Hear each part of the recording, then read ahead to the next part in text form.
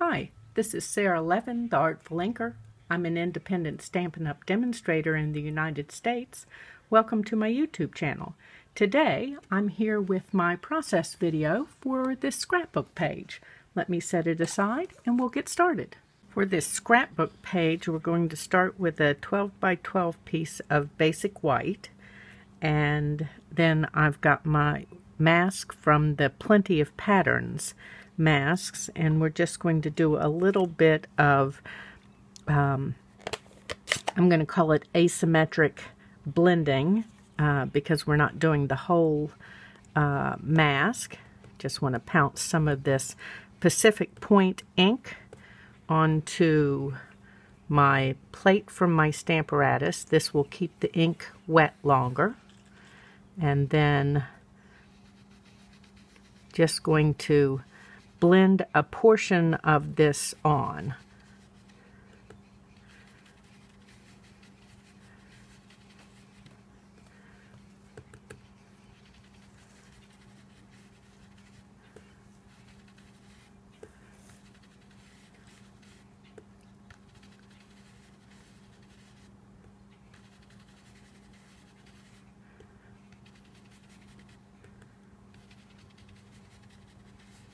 And let's lift this and see what we've got.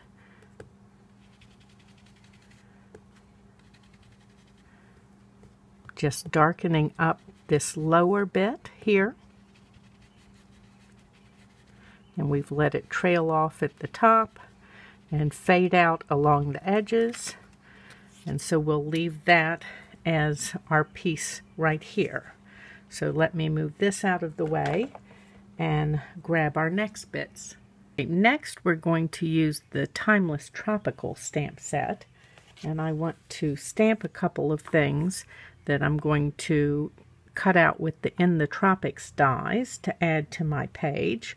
So first are my palm trees, and I'm going to ink them with uh, my Stampin' Write markers because I want them to have brown trunks and green tops. So I'm using the side of my um, brush tip of my marker to be kind to my marker. Let's close that now and grab the brush tip on my garden green. I don't think I said the first one was soft suede. And just coloring across all this lovely palm frond detail.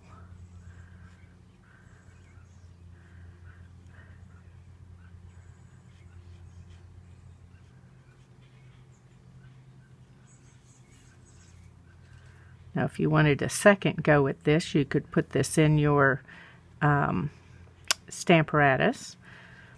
Now I'm going to huff on this so that my breath will re-moisten any of the ink that may have dried and give this a good rub all over. And I do want a second set of palm trees, so we're just going to do that again. So just a quick inking here with the garden green. Make sure you're using the side of your brush tip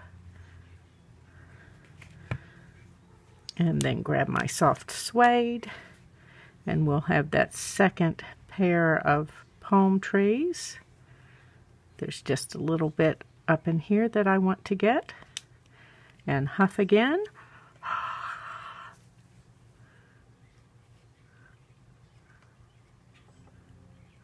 Okay, so there's two sets of palm trees. And then next I've got the small pineapple stamp.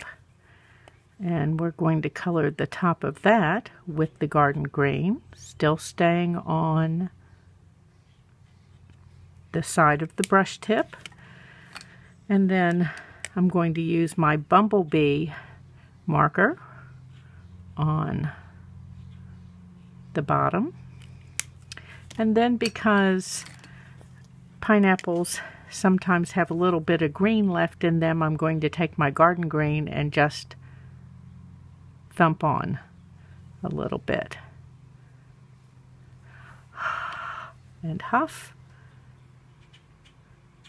and stamp and let's do that all again. So let's do the bumblebee. I'm going to go ahead and thump on some of that green from my Granny Apple Green and then the garden green up here at the top for the crown of the pineapple. There we go.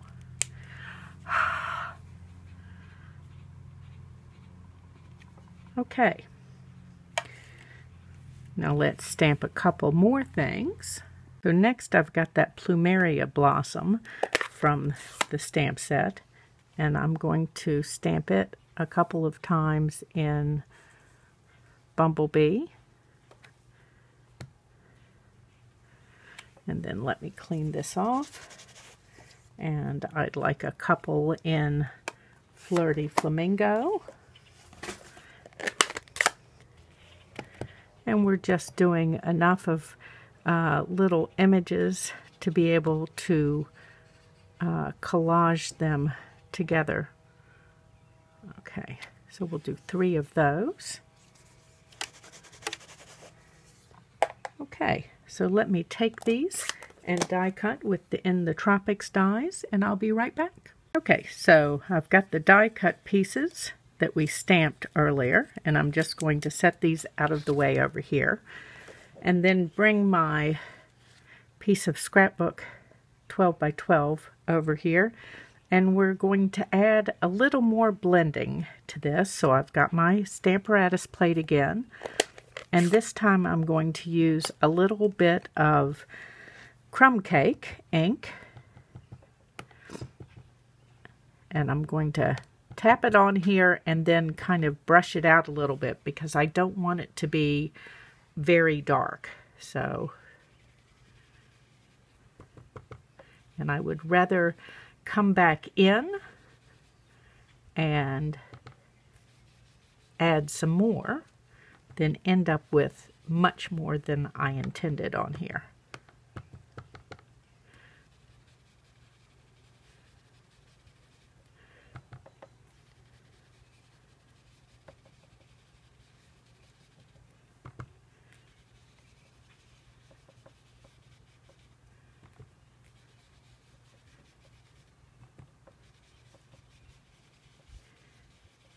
And as you know, blending takes just a little bit of time to get the shading that you want. So let's move this over.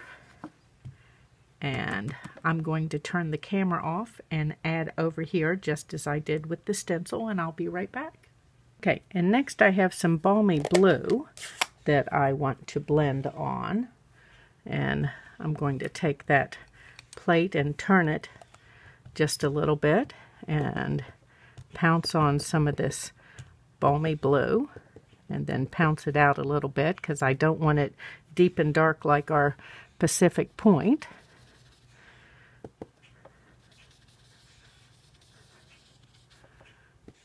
And not looking for a perfect blend, just looking to add a little bit of color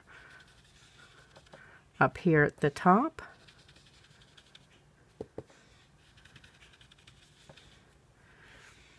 And it's possible that this bit of color will be more evident in person than what you're going to see on camera because it is very light.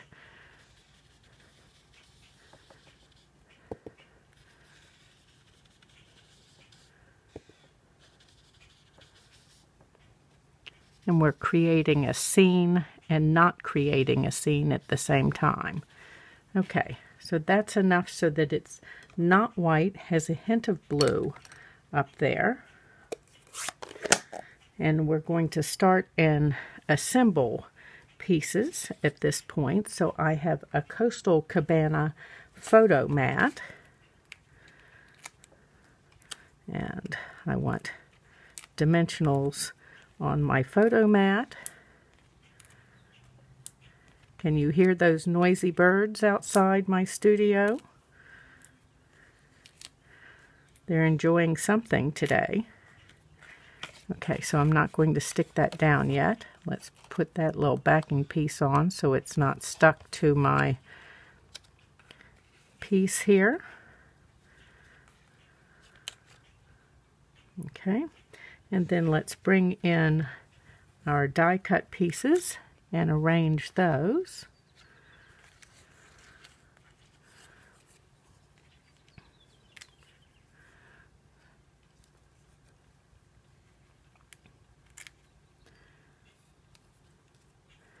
And let's see, I've got a, a piece of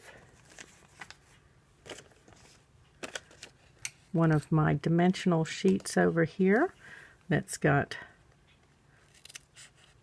the edges left and I'm just going to cut off a couple of these pieces without the points on them to use for my trunks on my palm trees.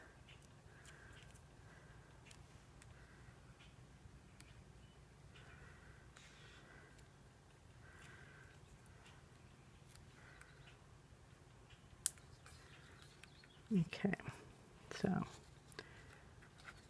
going to start by putting this piece down.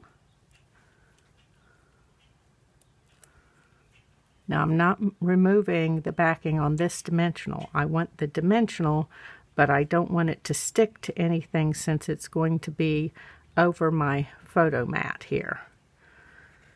And then we're going to take some of our pieces here the plumeria.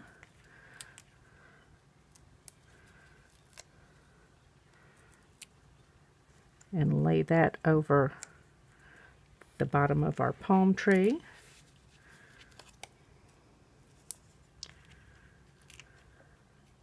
Oops.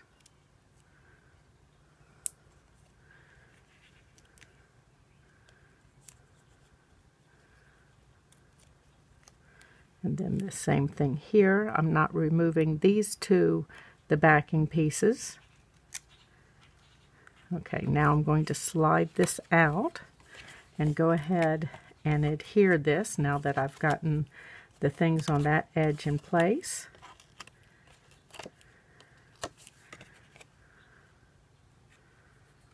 Want to lift this up and slide this right back down pretty much where it was before. Okay, and now let's put these pieces in. I'm looking for my pineapples and they have stayed over on the other side here, but I'd like to add a pineapple to each of these clusters. This needs a double stack and the backing piece doesn't need to come along with. So let's pull that off of here and give it a dot of adhesive up here at the top.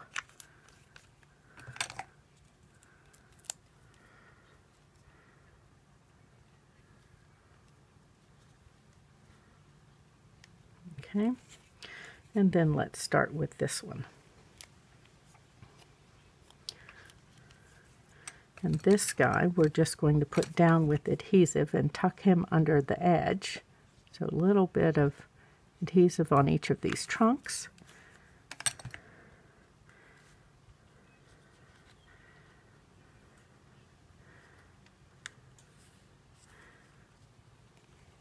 Okay. And give our plumeria some dimensionals.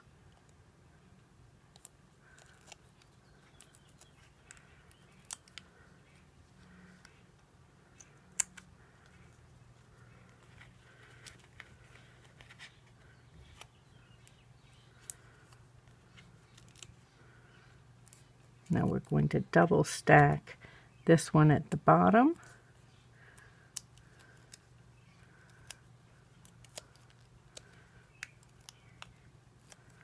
And then this one we're going to leave the backing on because it's going to be over the edge of our photo mat.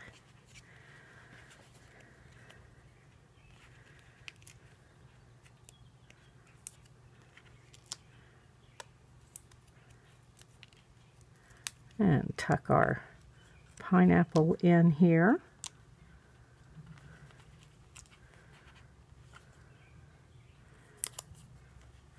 And then out here on this edge, we're going to double stack both of these. Oops, if I can get the dimensional backing off.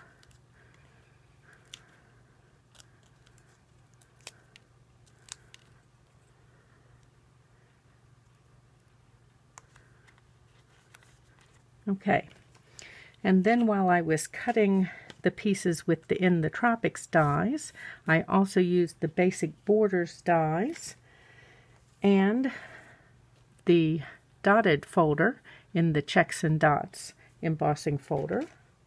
And I cut some clouds to use on our piece. So let's add dimensionals to our clouds.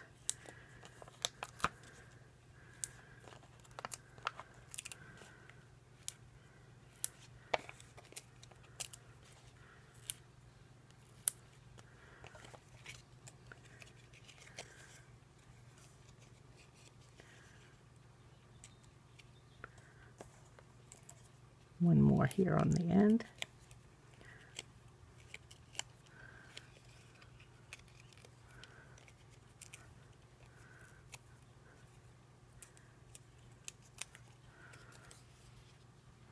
Okay, we're going to place this so some of that blended on balmy blue will show. And then let's add dimensionals along the way on this one.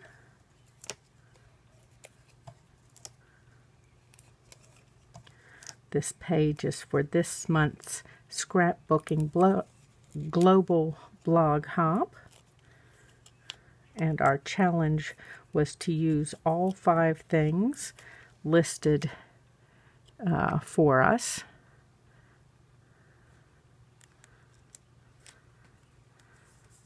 Okay. And there are my clouds. We need just a little more embellishment. First, I'm going to do the title. Let's move this out of the way. And for my title, I've got a piece of the foam adhesive sheet and a scrap of my basic white that's left from cutting my clouds. And I'm going to adhere that. And then let me find my snips here and cut this off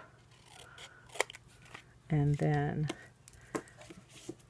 pull my backing sheet back further and stick this on as well so that we maximize the number of letters that we can get from that. Okay, I'll be back with my letters cut and we'll proceed.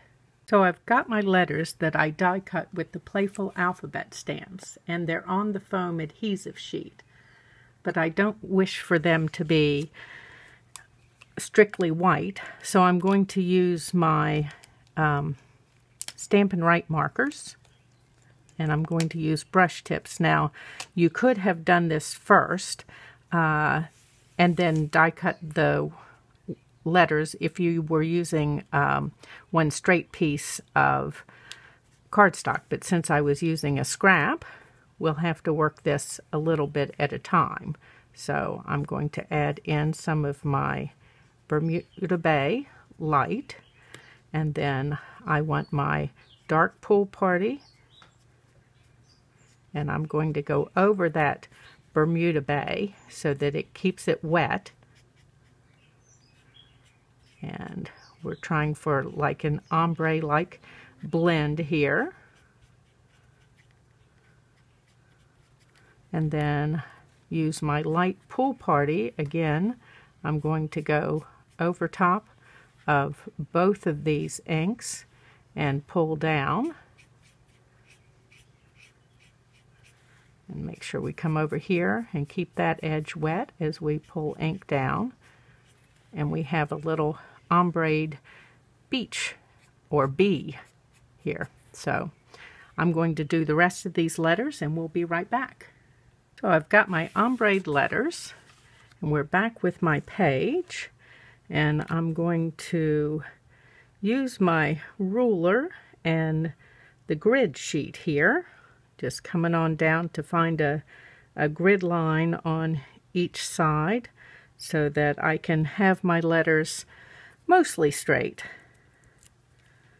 So let me hold that in place and pick a spot and then just begin to work. And of course you have to pull the backing sheet off of that foam adhesive sheet and it's important to spell the word in the correct order.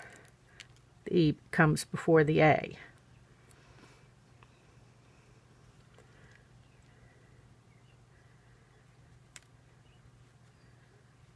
And this one looks just a tiny bit crooked, not quite standing up straight.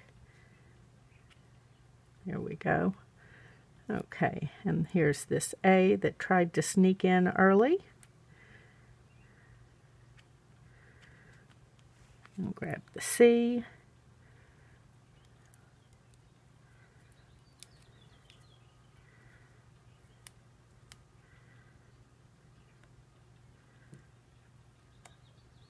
Okay. And finally, here's our H.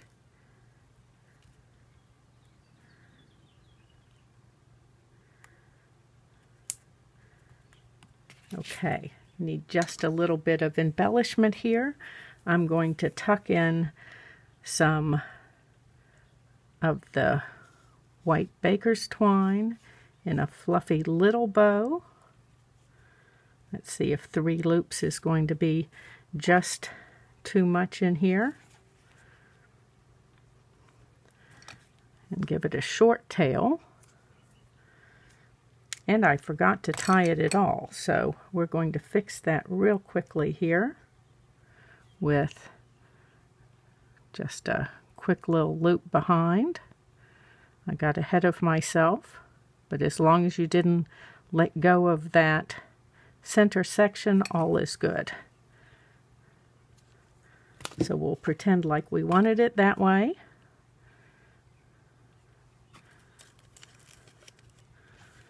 Get those out of the way, grab my take your pick to pick up a glue dot, my favorite third hand here. We're just going to tuck this in and under so that it's fluffing out at the side here.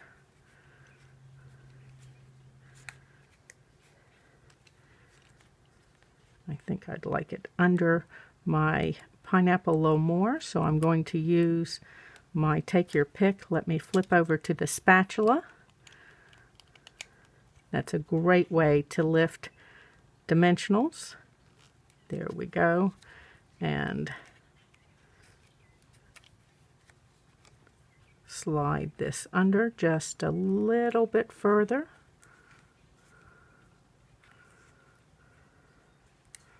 There. So we have some of this fluffiness, but it's not just all out in your face. Separate that a little bit. Now let's take this out of the way. And I need some gems. Gems are the last thing that I need to use from the five things that we had to use. And I've chosen the gilded gems. We'll just tuck a couple of those in here. Oops.